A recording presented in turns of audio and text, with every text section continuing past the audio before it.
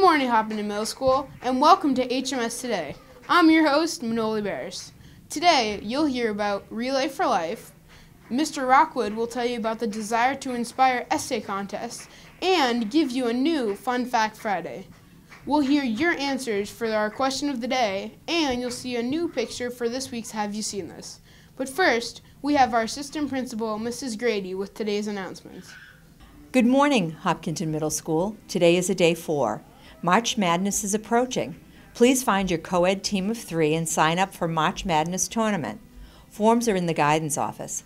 It is $3 per person. All forms and payments are due to Mrs. Kirschenbaum in room 247 by February 26th.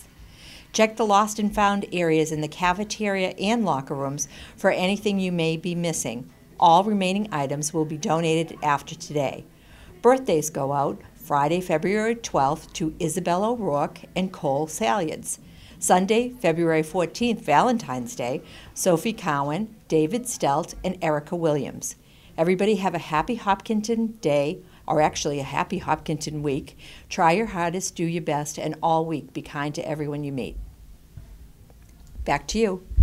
Thank you very much, Mrs. Grady. Now, if you want to attend the wreath ceremony in the State House before the Boston Marathon, Mr. Rockwood is here to tell you all about it. Good morning. Once again, students in all three grade levels are participating in the essay contest, where winners will be recognized at the wreath ceremony held in the Great Hall of the State House in Boston. Additional information to follow. Yet, in the meantime, please talk to your world history, geography, social studies, or English teachers for essay details.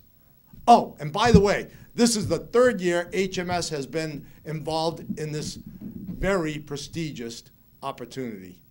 Thank you. Thank you, Mr. Rockwood. Now we have some students from the high school to tell us all about Relay for Life.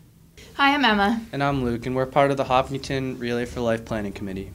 Um, Relay for Life is an event put on by the American Cancer Society in which you form teams with your friends and you fundraise money for cancer patients and awareness.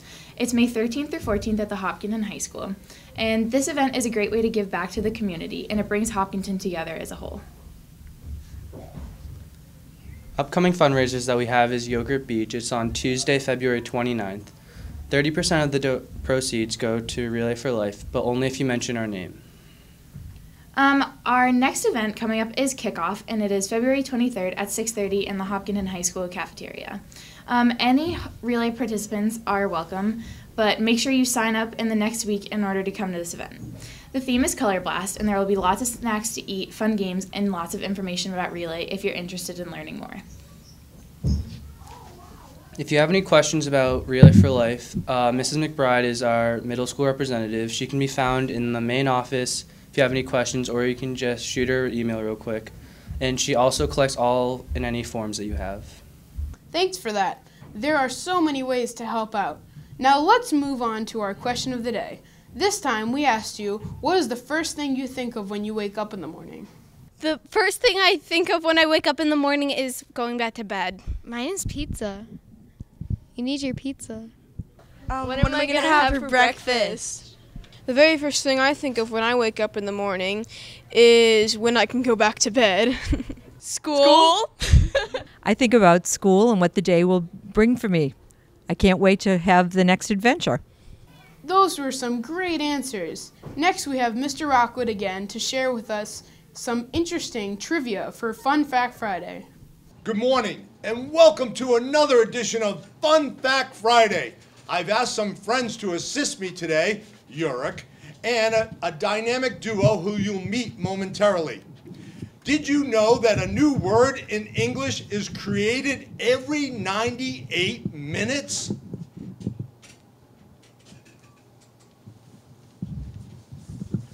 I'm Haley. And I'm Acadia. And our fun fact is that 80% of all information stored on all computers in the world is in English. Thanks again, Mr. Rockwood. And now, here's the answers for our last Have You Seen This? It was in the grade 6 locker hallway next to Mrs. Mason's room, but no one got it. Was it really that hard to figure out? Anyway, here's a new picture for you. Do you know where it is? If you do, send an email to our new email address, hmstv at hillers.org, and you could be our new winner. And remember that our new email is hmstv at hillers.org. That's all for this week, middle school, for HMS Today. I'm your host, Manoli Barris. Now get out there and study hard.